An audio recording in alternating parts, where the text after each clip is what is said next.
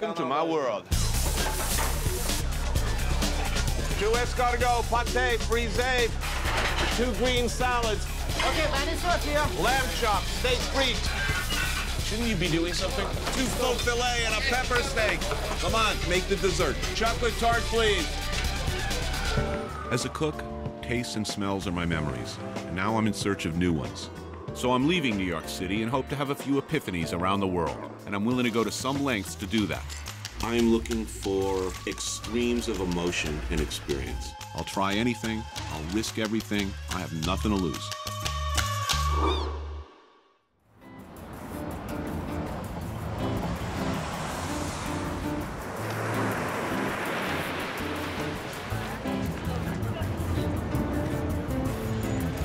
Los Angeles, Los Angeles. Why, God, why am I here? I'm the worst possible guy in the world to do, you know, a Los Angeles Adventures in Food show. I'm an East Coast sort of a guy. I'm a bundle of deeply held prejudices, morbid fears, and apprehension about this town. Have palm trees ever looked more menacing, more sinister? This is where bad things happen to people like me. My worst nightmare about going to LA is that I do not have the strength of character to survive there. It's where people way more talented than I go and screw up their lives completely.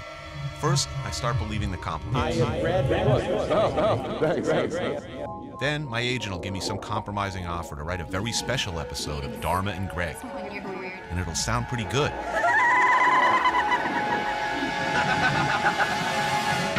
Finally, I'll take my TV money and settle into some fancy Hollywood hotel. Then I really start to screw up. Next thing you know, I'm coughing up my last on a cold bathroom floor. Or I wind up face down in the hotel pool. And the message is always, you shouldn't be messing around out here. So what's the first thing I do when I get to Los Angeles? I rent a classic 67 or 68 red Mustang convertible. And I like it. I like it a lot. Oh, yeah, styling. It begins. Corruption in increments. While I'm in this town, I want to see what the locals are really eating. Is it really all avocados and light cooking and non-smoking zones and no animal fat? I want to get my hands dirty. Want to eat everyday chow. The first thing I notice is there seems to be a remarkable number of fast food restaurants out here. For now, I'm looking to ease into the California thing. I'm on a hot dog quest. I just want a dog like I know and love. I mean, what unifies us in America more than the beloved hot dog? How is the Californian, particularly the Southern Californian hot dog, different than the New York hot dog? It's different. We're now approaching the fine gourmet emporium, Tail of the Pup. We'll check out that East Coast versus West Coast hot dog thing. Here, the standard dog automatically comes with chili on top. Where's my weenie? What did the Zen Buddhist say to the hot dog vendor? Make me one with everything? The ultimate experience. Okay, I asked for the ultimate hot dog, exp- West Coast hot dog experience.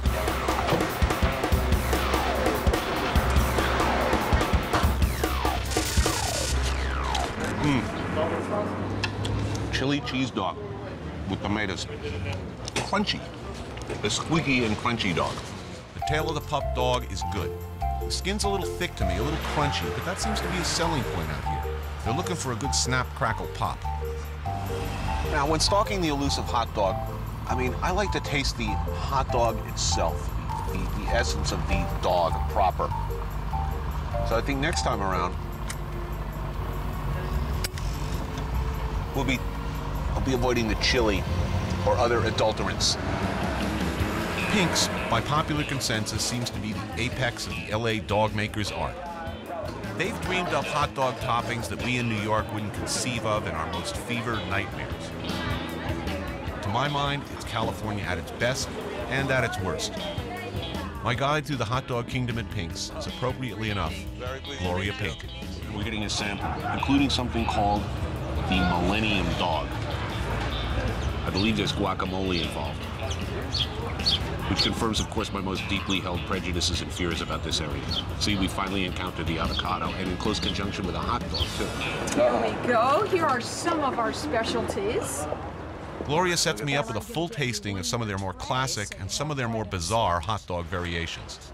Lovely. We've, we've got our Millennium Dog, which is the giant 12 inch jalapeno dog with guacamole and tomatoes and grilled onions and lettuce.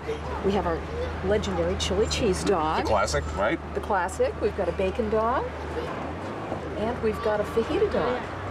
Cool.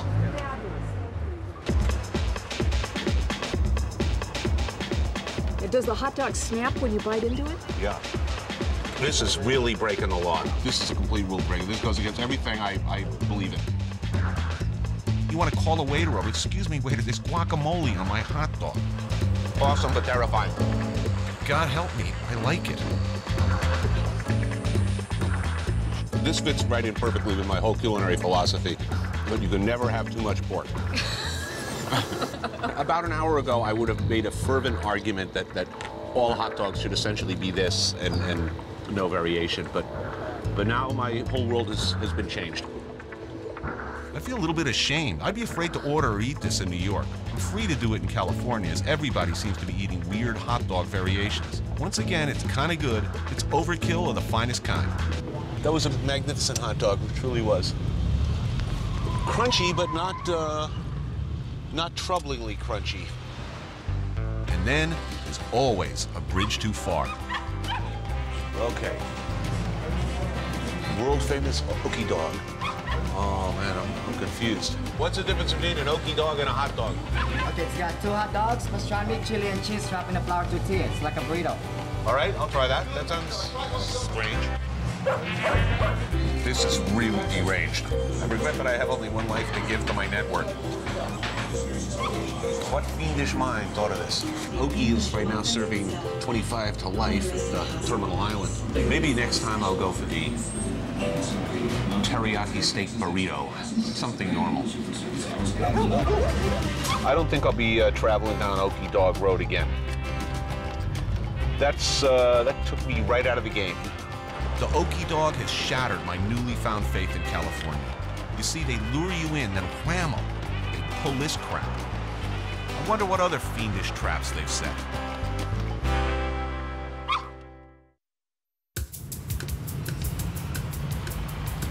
Think this is Beverly Hills.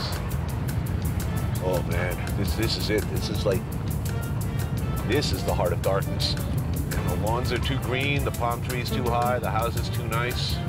Don't look, Tony, don't look. I'm trying very hard not to picture myself in one of these fine homes. You think the Beverly Hillbillies live there? All I need to do is discover some bubbling crude, and I can live here. The real reason I'm in LA is that I've been invited to be the guest chef at the Swank LA restaurant, Campanile. We're at Campanile restaurant with chef owner Mark Peel. I was worried about this. You're a I've been ducking guy. under range hoods my whole life. We're in the early planning and execution and prep stages of uh, tonight's special event here. How do you pronounce that one? Uh, Charcuterie? charcuterie. We're doing an old school, very familiar French menu, in which, believe it or not, I'm the guest of honor. I've been out of the kitchen way too long, uh, so this should be fun. Looking at this menu, it's like uh, sliding into a nice, comfy, warm bath. Nine hours till uh, zero hour. Next, shopping. First, we head over to Mark's fish purveyor to pick up the fish for tonight. Look at the size of that guy. You see this? I like this place. It's not too weird. Giant clam legs, sawagani, monkfish liver. Yeah, deep fried, sprinkle with, with uh, This place has got top of the line, ultra fresh stuff. I've seen most of this stuff before, and in a pinch, I could cook it. It's a perfect place to take refuge from the Okie eaters. This is the fish I was thinking about for us tonight.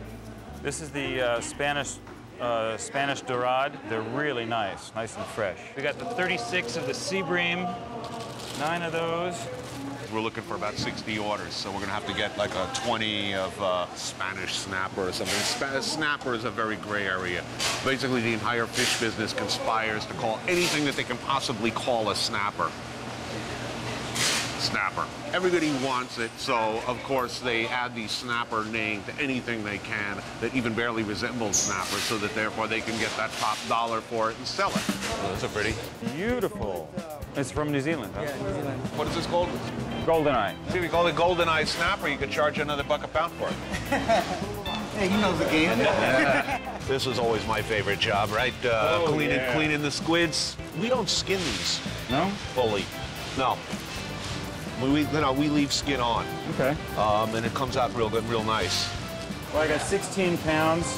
I'll throw in a four. few more. The thought occurs to me that I haven't been in the kitchen for a long time now.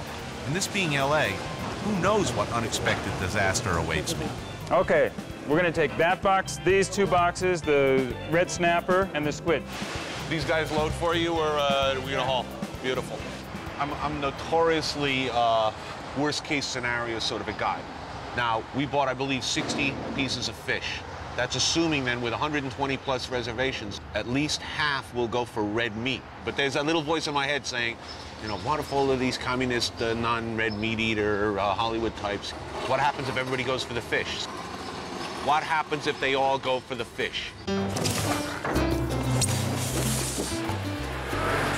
Next stop on the tour, Santa Monica for some produce. Oh, I hope I see David Hasselhoff. The thing that's great about this market is that we can get all this stuff in New York. But here, it doesn't have to take the red eye, so it's that much fresher. So, Mark, you do this about once a week? You come here, what, every Wednesday? Every Wednesday, yeah. Oh, I love these. Look at this. Is this not sexy? Blood orange. But is that not cool? There's a hollandaise variation called sauce Mal- maltaise made with blood orange juice. It's like a red hollandaise. Oh, so sexy. Oh, yeah, this is what chefs do. No, that's really sexy. We're talking about. Yes, we have tiny little baby fennel. That's great. We're just using for the uh, for the squid. Right. Yeah. Oh, asparagus over here. So sexy. This place will put a fire in your loins. I'm thinking, uh, what? Well, this is for the whole fish. Uh, what? You know, two spears of green, one spear of, uh, purple uh, per fish times uh, what? 40?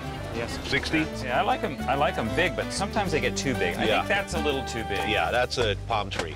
Okay, that's it. We're off. This chef business has kept me from my convertible much too long, so I tell Mark I'll meet him back at the restaurant and head out in search of health food. I don't know why, but I'm susceptible to crafty and subtle advertising and promotional gimmicks. For some reason, I feel like a donut. Can I get uh, one glazed donut, one with uh, like a raspberry filled, and one of those uh, with the sprinkles on it in the end? Now, I like the French, kind of. But you know what I say? Can the French do this? I don't think so. When you're standing in the shadow of the big donut, every mouthful is magic. But you know the donut I've had so far? Just not big enough. Look at that. You know, my mother always told me never eat anything bigger than your head, but mom's been wrong about just about everything so far. What do you call that big monster donut? Do you have a name for it? The big one? Texas glaze. Yeah. Right. Everything's big in Texas. That's not false advertising. Mmm. Intoxicating.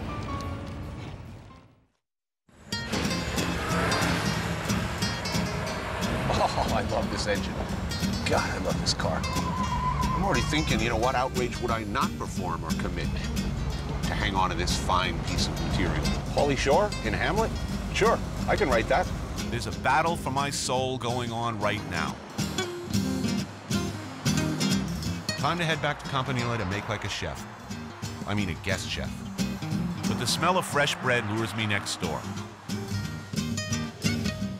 Hi. Mark's wife, Nancy Silverton, started La Brea Bakery as part of Campanile back when they first opened. But now she's making bread for half the country.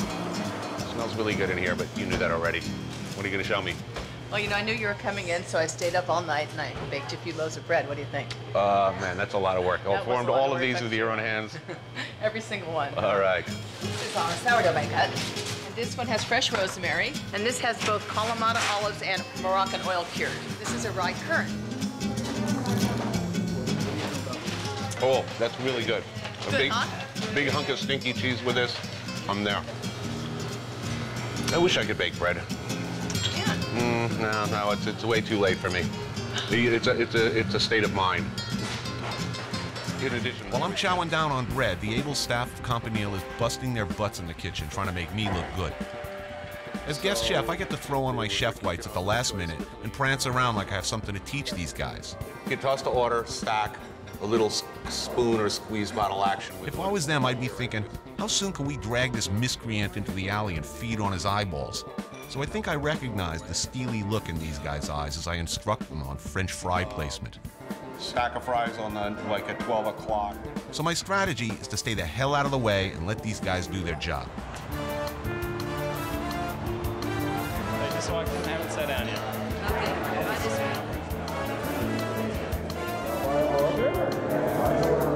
Basically, this menu is very close to what we do at Les Halles. We specialize in old school, authentic brasserie bistro of the most rustic and heavy on the animal fat kind. Classic bistro fare, Cote de Boeuf, which is a Flintstone-sized piece of beef. You're not getting enough red meat out here. That's why, you know, it's not that same level of naked aggression and rage. Of course, if they don't want the beef, we're serving the roasted dorade and golden eye snapper we picked out at the market. I have no idea how Los Angelinos are going to like Les Halles fare. My expectation is that they're all going to go for the fish. First course, a charcuterie plate. It's a terrine of veal and pork in sweetbreads. God, I love sweetbreads. A uh, little salami, squab mousse, and serrano ham. The king of hams, by the way. Serrano is sort of the Spanish prosciutto, uncooked, simply cured, not smoked, with just a touch of sweetness. It's uh, the calamari salad.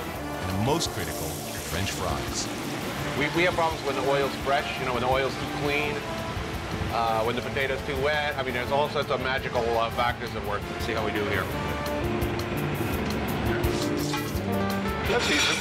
Turning to my humble roots, rye cook. Now, unlike the mosh pit in my kitchen in New York, this staff is about as polite and nice as any staff can be expected to be under these conditions. Were I the chef, I would have run my ass right out of this kitchen. How are people ordering their meat in general? Or is there a consensus here? We do real good. There is hope for humanity. On la venta. Yeah, I felt good. Take a picture. Oh, it is a picture. Then comes the most surreal part of the evening, where I get to swan around the dining room accepting compliments for all the fine work being done by other people in the kitchen, and marveling at all the reasonable looking customers who seem to have read my book and yet aren't running for the door at the first sight of me. Maybe they're just being polite. It's tough working in someone else's kitchen, but in this case, I'm not really working, so it's not that bad. It seems my expectations are unfounded. The yoga crowd likes the meat. They even like it a little bloody. Fries up. You ready on that fish, right? You know you're in a professional kitchen when you can walk in, turn the whole menu upside down, and still get results like they've been doing it that way since day one. What's a trip to LA without a celebrity sighting? I'm lucky enough to meet Tony Shalhoub, star of the best restaurant movie ever, Big Night. really, really pleased to meet you. Oh, pleasure. Brooke's been reading me from your book out loud. It's fantastic. I, I have to tell you that this subject comes up a lot. Uh, with a bunch of chefs sitting around late at night having way too many cocktails. Everybody universally agrees the best restaurant movie ever. No American movie has ever gotten it right. I mean, the moves, the the priorities, the the look. It was all it was just dead on. I mean, you're a cult hero to chefs and cooks everywhere. man. Great meeting you. All in all, I'm impressed. I thought they'd all be crying for arugula encrusted tofu. They eat meat like heavyweights in training. They can't all be New York transplants. I really got to rethink this town. The evening of my guest chef gig is finally at an end. Happily, I've escaped without injury. So spectacularly went well, right? No no senseless Yeah, butchery, yeah. no violence, uh, happy customers. Where are we going now? Fred 62. Cool. Seduction is nearly complete. God, I love this car. It's gonna break my heart giving up this car. I want to die in this car. I want this car to be my funeral pyre. The burning wreckage of a 67 Mustang convertible. What more honorable way to die? Fatburger, boy, that looks good. Had nothing but beer, vodka, and cigarettes. Well, those are essential parts of any sensible person's diet, and not a lot of bulk there, not a lot of filler. So I'm looking for the greasiest, meatiest meal I could find.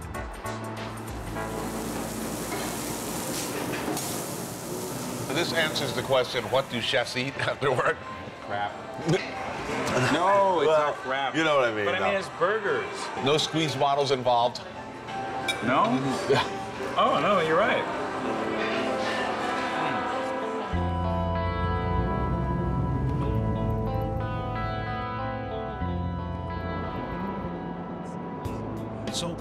Made a ghastly mistake. It's not all bronze blonde bimbos and new age cultists feasting on alfalfa sprouts and wheatgrass juice. Yeah, sure, LA's still a surreal place. But I like the beach, I like the sun. Now I know I won't go hungry.